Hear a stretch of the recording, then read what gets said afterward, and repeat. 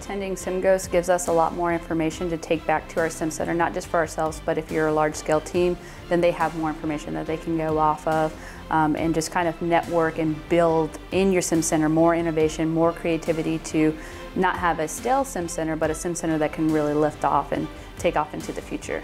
I think everybody should attend SimGhost. You know, anyone that's in the simulation field. You know, it, it helps out with administration. Administration. It helps out with the SimTechs. It helps out with directors. Anybody that's in the simulation field absolutely needs to attend it. My favorite aspect of attending SimGHOSTS this year is just the opportunity to network with other sim techs.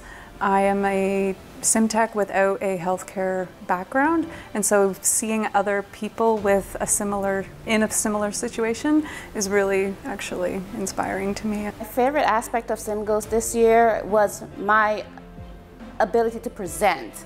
I found that so many people in the audience were so engaged it was great to share the knowledge that we have acquired and just have that great open discussion with each other about what's going on in our Sim Center and ways that we can improve. What brought me here? The simple fact that SimGhost is probably the best conference for what I do.